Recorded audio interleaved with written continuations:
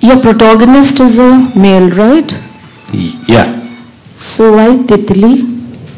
Oh, I have no idea actually. I've been asked this question a couple of times now. Uh, there's uh, in retrospect. So, so the honest answer is uh, it's not thought of. It's not something that we actively thought of. Uh, but in retrospect, since I've been asked this question a couple of times, um, uh, it's a film about patriarchy. It's a film about how men behave with women, and there's this young boy who's trying to break away from these patterns uh, that that he feels run within the family. So I think just a slightly feminine name uh, probably just instinctively uh, made us uh, feel uh, fit the character well. Me and my co-writer Sharat. The other slightly funny reason is that I'm called Kanu. So a lot of lot of my friends have said that you know, maybe that's why his name is Titli because I have a slightly feminine name. So maybe that's the reason.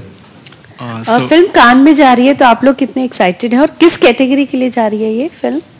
Uh, uh, film film Cannes जा रही है regard ya या उन certain regard भी बोलते हैं that's it's part of the Um, so there are two broad uh, categories in the official selection.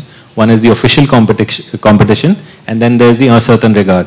So uh, Tetli is showing in the uncertain regard uh, uh, section with uh, 18 other films. Um, so yeah. Uh, Cannes जाने की excitement अभी तो कुछ एक दो दिन पहले तक तो फ़िल्म खत्म करने में ही लगे हुए थे। Um, um, काफ़ी सारी uh, मेहनत लगी और uh, अभी सब लोग इसी में ही uh, जुटे हुए थे कि फ़िल्म जितनी अच्छी बन सके और साउंड मिक्स अच्छा हो सके जितना uh, अच्छी तरह से फिनिश कर सके उसी में लगे हुए थे।